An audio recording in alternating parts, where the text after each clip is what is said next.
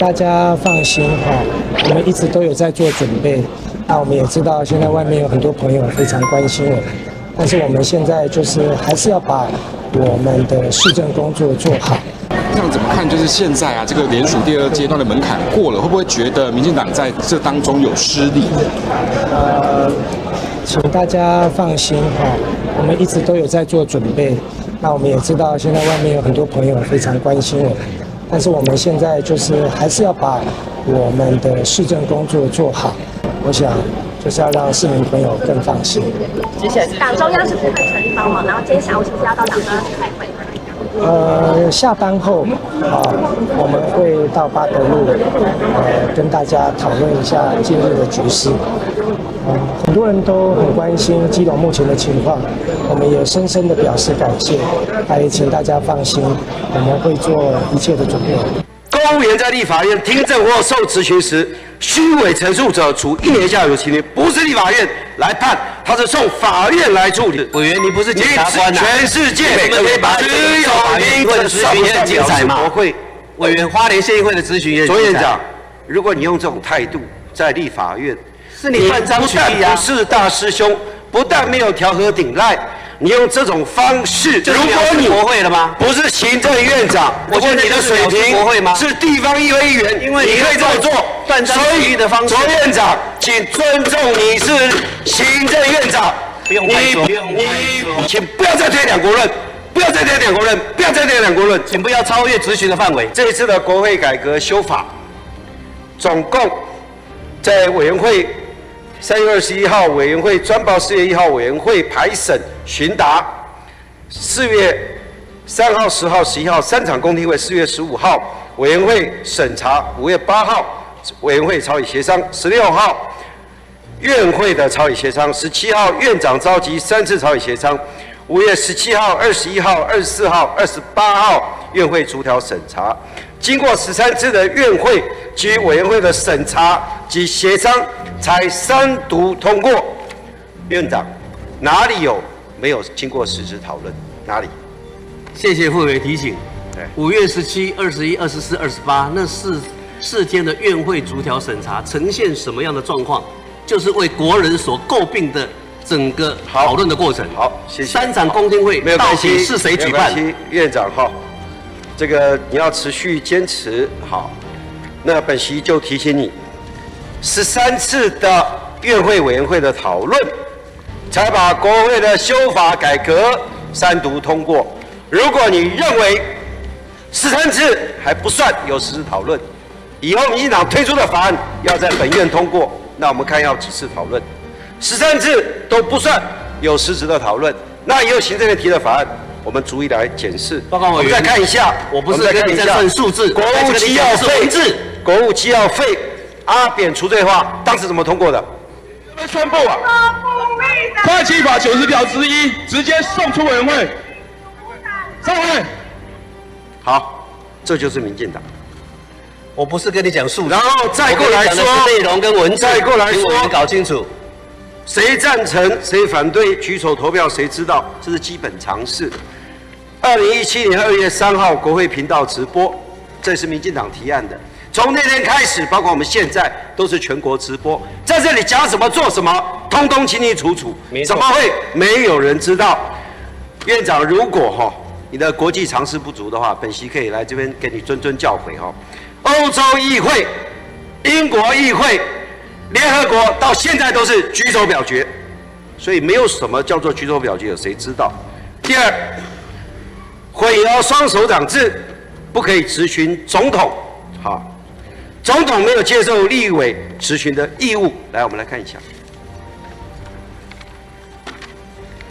影片。我不愿意，不要下一步。请马英九注意，立委所有咨询、所有的报告，总咨询还是委员会。都是即问即答的，勇敢面对所有的问题。又是民进党的主张，当时为什么没有？卓氏经费没有关系，卓氏经费没有关系。请问委员，当时这个就是民进党一贯的诈骗、一贯的手法，就是不适当才没有通过啊！别叫你要民众再来一次，听证，你要回到历史，你要回到错误。我们看这是第几条？这是立法院之前刑事法修正后四十六条之二，写得很清楚。立法院行使职权调查所有的目的、事项、范围，好，通通写得很清楚。在诉讼中或审判中的立法院不得行使调查权，范围界定得非常清楚。这个是案子是谁提的？来，我们播放一下。那为什么当时没有过？就是你认为不适当。四十六条之二，我们就无异议。民进党版本无异议通过。对不起，是通过的。民进党的版本，过去为什么没有过？这次通过。好，然后再过来，漠视正当法律程序，违反程序正义，请律师拒绝证言。请问一下，卓律师，你是学法律，我请问一下，刑事诉讼法二十七条，除非是犯罪嫌疑人才可以请。律师，证人到法院可以请律师吗？而且来这里立法院听证的民众，都是有涉及跟政府相关有勾结，立法院立案调查来这里是作证，作证怎么可以带律师？当然要经过会。但是你要科政府人员可以移送刑责刑法，下一条，而且科人民直接的证人，只要是老百姓的，请不要在这里散布谣言，百姓。到立法院的听证会，他是没有刑责，只有政府官有刑责。为保护人民的基本权利，下一条，一点水都不能放。无期限审查人事同意权，说立法院人事同意权空转政府，瘫痪政府现在机关的运作。我们修正的条文叫做二十九条修正以后，立法院修审查期间，人事审查期间不得少一个月。并于院会表决前十天拟具审查报告，有什么不对？有什么不对？你只有什么不对？只规定不得这样子会开会，这样会瘫痪行政院放半年吗？这样会瘫痪行政院。好，你说会放半？我们看原条文，修正前，立法院依照宪法一百零四条增修条文第五条、第六条、第七条，不经讨论交全院委员会审查，审查后出院会以无记名投票表决，经院会。委员二分之一同意为之，之前有任何的期间吗？原本就没有期间，修法的所以目的在拉长听证的过程而已。胡说八道，只在原本就没有期间的限制，却没有再过来下一条，跟原意是不相符合的。怀疑官员虚伪陈述可以可以行责，这个完全是诈骗，行政院的诈骗。这一条是刑法一百四十一条之一，哪里是？立法院的职权行使法，部长答在这里造谣，我们再次的强调，再次强调，这个这个那个公务员在立法院听证，请部长部长，本席没有请你回答。中华民国宪法、刑法、中华民国刑法一百四十七条之一，公务员在立法院听证或受质询时。虚伪陈述者，处一年以下有期徒刑。不是立法院来判，他是送法院来处理。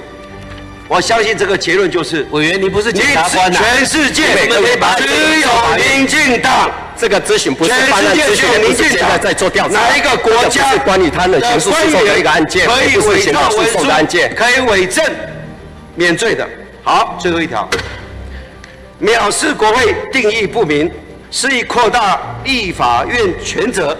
好，所谓反咨询、隐匿咨询，何谓藐视国会？让我们播一下。什么叫藐视国会？主日说要反攻大陆，到现在还没反攻大陆，所以一定要讲这种，不会输你的。哎，院长，你听懂我的问题吗？你听懂我刚才答询吗？这么吵干什么？好死，好死，好死，听懂了没？我觉得真的非常的离谱哈。那边。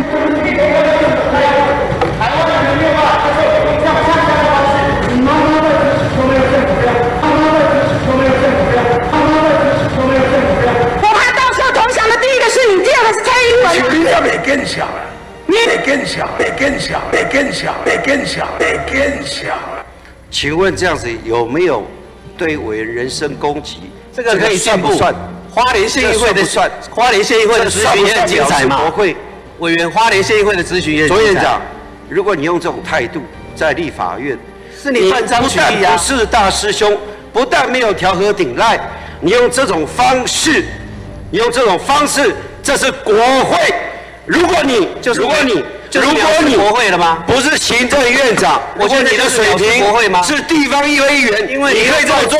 断章取义的方式。卓院长，请尊重你是行政院长，你不是地方议会议员，请你面对国会要谦卑，要调和顶赖，要好好的把你的职务做好。最后再提醒你，面对国人，我只是一个国人我只是一般的国人。中华民国总统按照宪法来宣誓就职，请不要再推两国论，不要再推两国论，不要再推两国论，请不要超越执行的范围。